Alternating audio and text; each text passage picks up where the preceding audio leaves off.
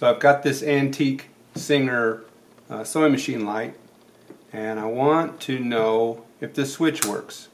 What I'm going to do is show you how I test that.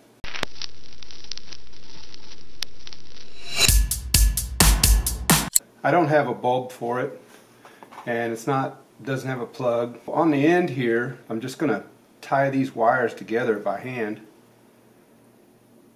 The way electricity works is uh, well, in layman's terms or plumbing terms, it goes in one wire and comes out the other.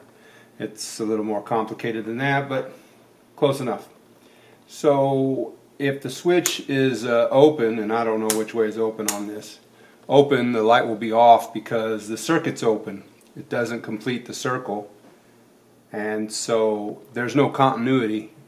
You close the switch, that completes the circle, the light comes on, so I'm going to test for continuity with my multimeter. And I've got this set up so that whenever it senses uh, continuity, makes a beep. Tie onto these wires. And then there's a couple of uh, connectors inside here. Alright, that's one. That's the other. If I shut this off, still get it. Get it on one but not the other. Okay, so this is the one I'm interested in.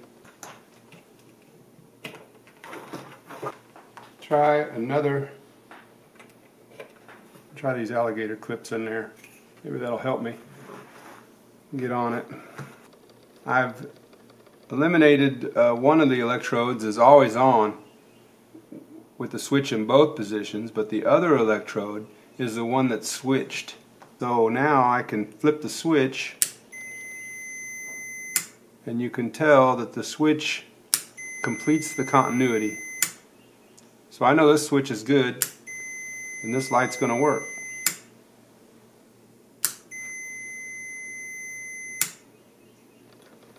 That's how you check a switch. So that's how you can check a switch with continuity. It's pretty safe because there's no electricity. That's a good safe way to do it and you can be sure that uh, this switch works. Alright, well thanks a lot for watching and uh, consider subscribing to my channel. We'll see you next time.